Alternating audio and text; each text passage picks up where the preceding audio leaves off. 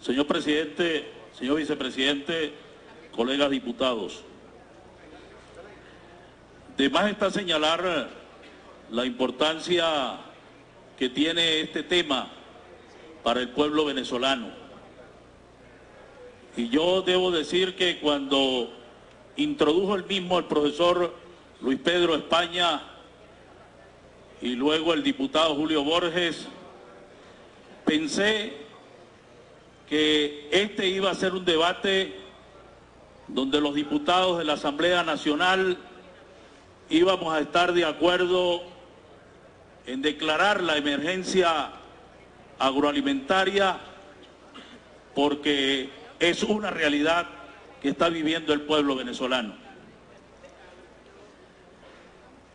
Señor vicepresidente, permítame para que no vayan de pronto a decir que soy un enviado de los pitiyanquis o del imperio o de Lorenzo Mendoza, que por cierto quisiera hacerlo porque hay que ver la extraordinaria empresa venezolana que han montado y que son las empresas Polar.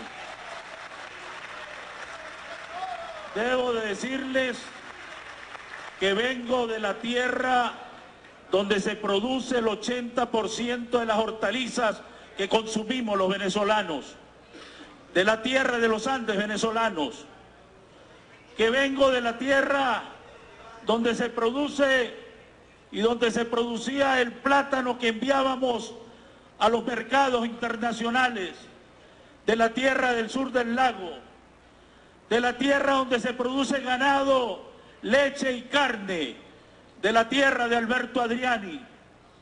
Y vengo de la tierra donde se producía el café que enviábamos a los campos, a, a Europa y enviábamos... Eh, a los mercados internacionales. Vengo de la tierra, de la zona del Mocotíes, de los pueblos del sur y específicamente de la ciudad cafetalera de Venezuela, Santa Cruz de Mora, donde por cierto hoy se están cumpliendo 11 años de la vaguada ocurrida el 11 de febrero de 2005 y que dejó a decenas de venezolanos eh, sin vida. Y por cierto, luego de 11 años, todavía su gobierno mantiene damnificados allá en el Museo del Café, en la Hacienda La Victoria, allá en Santa Cruz de Mora. Respóndanle a esos damnificados.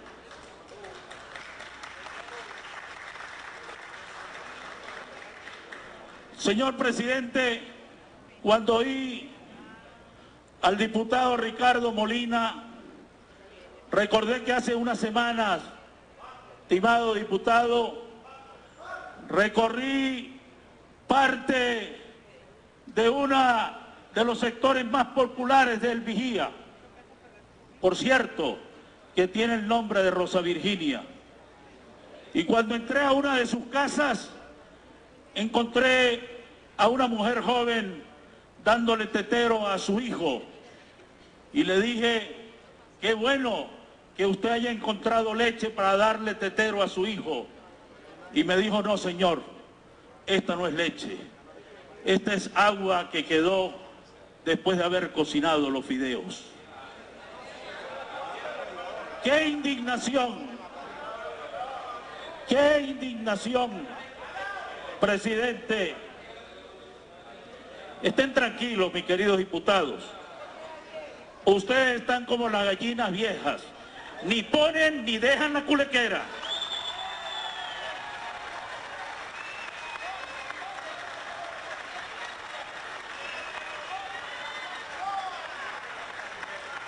Ni ponen ni dejan la culequera. Ustedes vienen cacarequeando que Venezuela es un país que tiene soberanía y seguridad alimentaria. Qué triste mentira.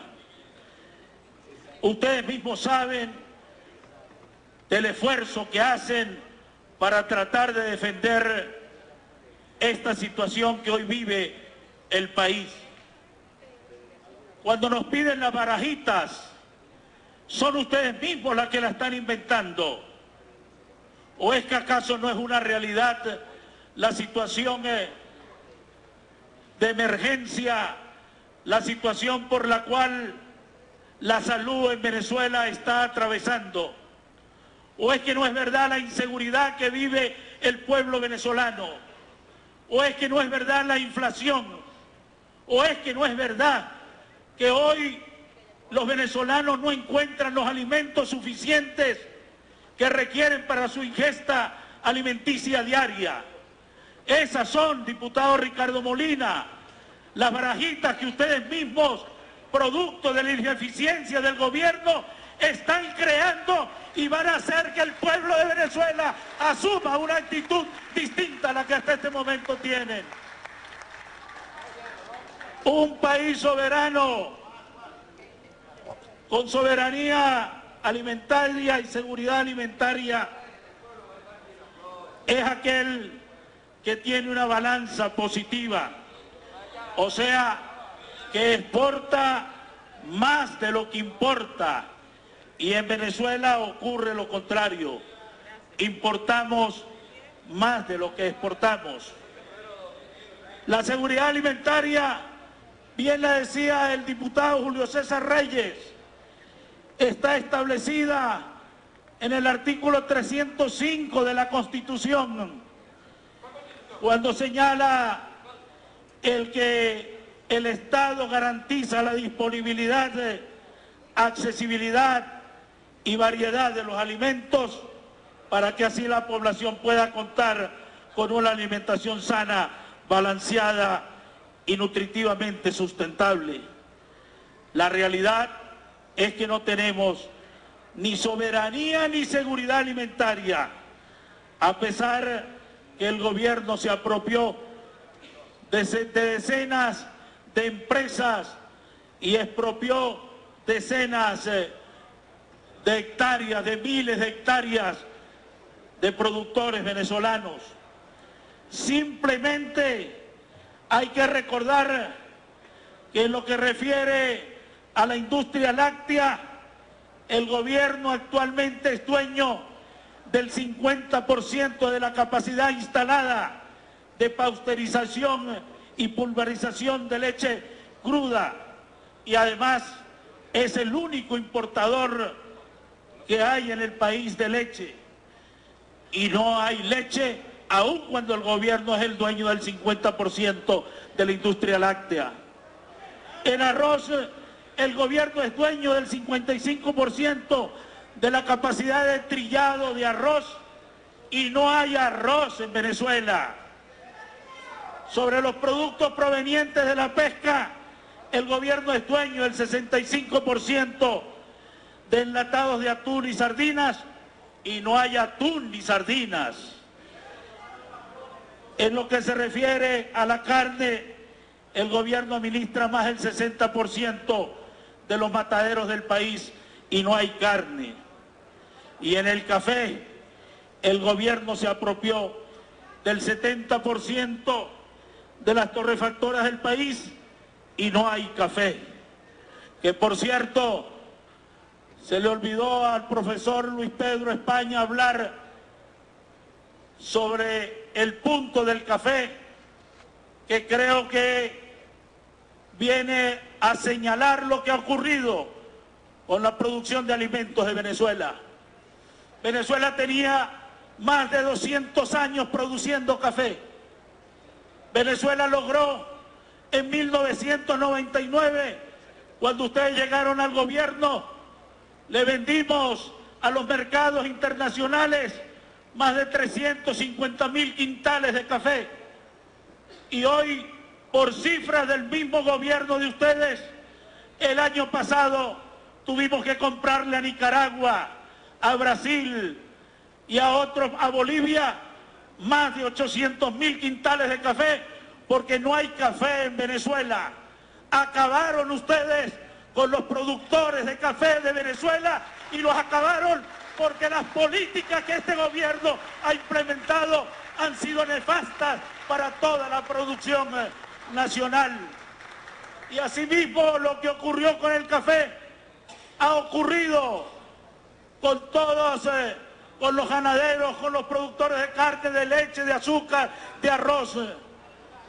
No sirvió este gobierno.